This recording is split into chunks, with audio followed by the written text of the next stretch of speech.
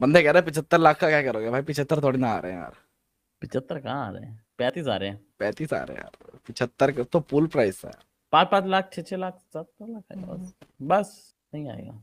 तो face bro thank you for 20 thank you so much बस बस पाँच छह सात लाख ही तो आएगा यार पर पर्सन मैं तो सोच रहा हूँ उनको ना दूँ। लेके भाग जाऊँ। तुम भी लेके भाग जाओगे क्या? ऐसा मत करो यार। लेके लेके भाग जाता हूँ फिर बोलूँ मैंने सुना है जॉन टैप निकाल फिर बोलूँ निकालना है तो निकाल दो कोई दिक्कत नहीं है। ऐसा मत करना यार। मैं दूसरी टीम बना के खेलने लग जाऊँगा।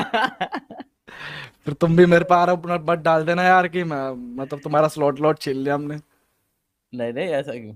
ऐसा मत करना मैं यार। मैं मैं बोलूँगा भाई एक काम करो कि स्लॉट छीन लो इनका। मैं बोल रहा हूँ भाई हमें नहीं खेलना। हमारी टीम को स्लॉट दे दो। ठीक है मैं आरडीपी को अपनी साइड कर लूँगा फिफ्टी परसेंट प्लेयर होते हैं। आर आरडीपी को मैं अपनी साइड कर लूँगा किलर को अपनी साइड कर लूँगा तीन हो गए तो और आइकॉनिक फिर देख लियो अपना हिसाब करना है ठीक है? तुम शुरू से स्टार्ट कर लेना। तो पैंतीस लाख और मैं इनको भी दूँगा ना इनको बोलूँगा कि तुम्हारे भी दस दस लाख तो आ ही जाएँगे तुम्हारे खाते में भी चलो। घर में घुस के ले जाऊँगा सारे पैसे। हल्के मत लेना। दस लाख में दस लाख में तो आरडीपी बोलेगा मैं जानता नहीं कौन है। गलत सीन जॉन डिवाई अब तो आ जाओ। अरे वेली पे क्या